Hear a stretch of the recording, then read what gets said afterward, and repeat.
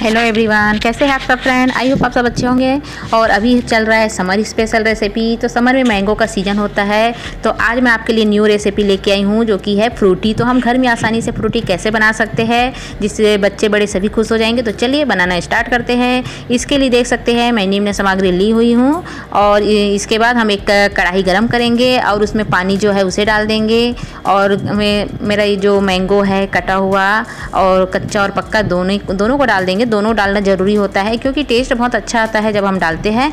तो फ्रूटी का टेस्ट जो है एकदम खट्टा मीठा मतलब अच्छा टेस्ट आता है। और इसे आप एक बार बनाएँगे तो आप बार बार बनाएँगे बाहर का फ्रूटी में मतलब गारंटी भी नहीं होता है कि वो ओरिजिनल है कि नहीं है, उसमें वाकई में आम मिला है कि नहीं और उसे ज़्यादा दिन तक सुरक्षित रखने के लिए भी उसमें केमिकल वगैरह कुछ यूज़ किया जाता है। तो अच्छा है कि आप घर में बनाएँ अगर सीज़न है तो और बनाते जाइए और जब भी ख़त्म होता है फिर फ्रेश बना लीजिए। एक बार आप बना कर रख सकते हैं, इसे आप कम से कम हफ़्ता दिन तो पी ही सकते हैं। तो मैं आपको हफ़्ता दिन, पंद्रह दिन भी आप रखेंगे फ्रिज में कुछ ख़राब नहीं होता है। आप बना कर स्टॉक रख रख सकते हैं और जब भी आपको तुरंत पीना है, आप तुरंत इसे पी सकते हैं। तो इसे बनाना बहुत आसान होता है। देख सकते हैं, मैं दोनों आम को ले ली हूँ, पानी को ले ली हूँ और शक्कर को ले लूँ, सभी को हम अच्छे से पका लेते हैं। और उसके बाद पकने के बाद इसे मैं करीब 10 मिनट पका रही हूँ अच्छे से। कभी कभी जैसे हमें लगता है कि कच्चा आम हमारा अच्छे से नहीं पका तो हम पंद्रह मिनट भी पका सकते हैं। बस इसे अच्छे से पकना होता है, जिससे कि ये अच्छे से मैश हो जाए। तो अब मैं गैस को बंद कर देती हूँ और इसे देख सकते हैं कि जो हमारा आम है, वो अच्छे से पक चुका है। इसे हम मैशर की सहायता से भी मैश कर सकते हैं और नहीं तो सीधा ठंडा होने पर हम इसे ग्राइंड कर सकते हैं। अभी भी इसका खुशबू आना शुरू हो गया है एकदम फ्रूटी के जैसे। जब इसे आप बनाते रहेंगे तो उसी टाइम में आपको खुद पता चल जाएगा कि वाकई में फ्रूटी का खुशबू आने लग जाता है। इतना, जितना अच्छा टेस्टी लगता है कि बस तुरंत पीने का मन करता है, पर हम इसे ठंडा में पियेंगे, तभी हमें फ्रूटी जैसे टेस्ट आएगा। तो इसे मैं थोड़ा सा मैशर की सहायता से गर्म में ही हल्का सा मैश कर देती हूँ। और नहीं करेंगे तो भी चलेगा, क्योंकि ऐसे तो हम अब वैसे भी ग्राइंड करेंगे ही। तो मैं ऐसे ही करके देख देती हूँ, अगर कभी कभी होता है कि आम एकदम अच्छे से पक जाता है तो हमें ग्राइंड करना भी नहीं पड़ता है और बस इसे हम छानते हैं तो छन जाता है और नहीं हो रहा है तो हम इसे एक बार ग्राइंड कर देते हैं, जिससे कि अच्छे से मिक्स हो जाता है, अच्छे से जो इसका प्यूरी है वो निकल जाता है। तो सबसे अच्छा ऑप्शन यही होता है कि हम इसे ग्राइंड ही कर लें। तो चलिए ग्राइंड करने के लिए हल्का से इसे हम थोड़ा सा ठंडा होने देते हैं। जब ये ठंडा हो जाएगा तो हम इसे ग्राइंड कर लेंगे। तो इसे करीब मैं दस मिनट बाद इसे मैं ग्राइंड करती हूँ। तो देख सकते हैं ग्राइंड करने के लिए जार में डाल दी हूँ। बस इसे थोड़ा सा ग्राइंड कर लीजिए। तो ये जब ग्राइंड हो जाएगा तभी जो मोटा छन्नी होता है जिससे हम पना वगैरह छानते हैं उससे हम इसे छान देंगे। जब ये ग्राइंड हो जाता है, देख सकते हैं कलर भी कितना अच्छा लगता है। मैंगो का कलर ही इतना प्यारा होता है। कि आप मैंगो शेक बनाया, चाहे कुछ भी बनाए बहुत अच्छा कलर आता ही है। तो ये देख सकते हैं, ये मेरे पास थोड़ा सा बड़ा साइज़ का छन्नी है। बड़ा छेद वाला ही लीजिए, जिससे कि अच्छे से ये छन जाएगा। और इसे आप छान लीजिए। और अभी मैं एक रेसिपी और शेयर की थी फ्रेंड्स जो कि है आम रस या आम पापड़ बोलते हैं। जैसे कि आप ने देखा ही होगा, या आप लोग बनाते ही होंगे, उसे आप थोड़ा सा गैस में गर्म करके बनाया जाता है।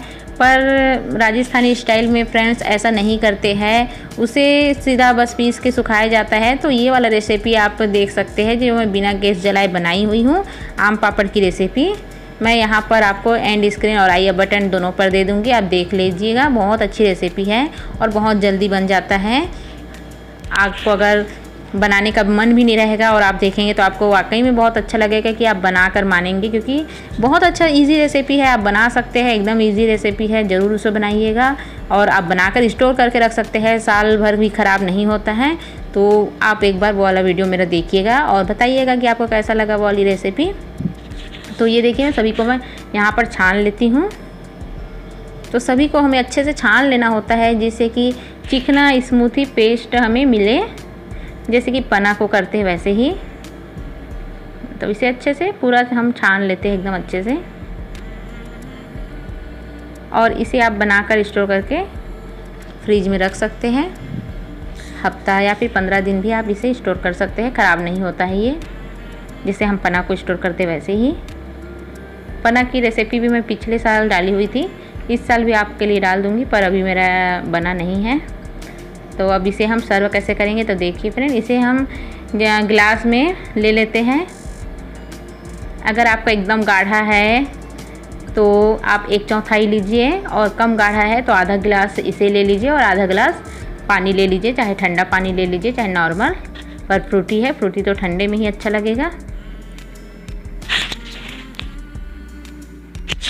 तो ये देखिए, यहाँ पर पानी भी डाल दी हूँ और चाहो तो आप आइस क्यूब भी डाल सकते हैं और बस ठंडा ठंडा चिल चिल मज़ा लीजिए, फ्रूटी का एकदम घर में बनाकर बच्चे भी खुश हो जाएँगे और इसे आप फ्रिज में स्टोर करके रख दीजिए।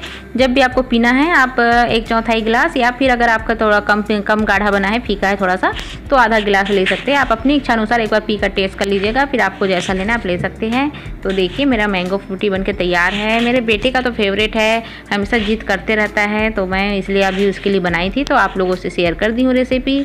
कैसा लगा बताइएगा और अगर आप मेरे चैनल में पहली बार आए होंगे तो प्लीज़ सब्सक्राइब ज़रूर कर दीजिएगा फ्रेंड्स, क्योंकि सब्सक्राइब बिल्कुल फ्री होता है। इसके लिए कोई चार्ज नहीं होता है तो सब्सक्राइब कर दीजिए और मैं मैंगो रेसिपी प्ले तैयार की हुई हूँ, उसमें आप और भी रेसिपी चेक कर सकते हैं। तो चलिए फ्रेंड, हम अगले वीडियो में मिलते हैं एक और नई मैंगो रेसिपी के साथ, तब तक के लिए बाय, टेक केयर।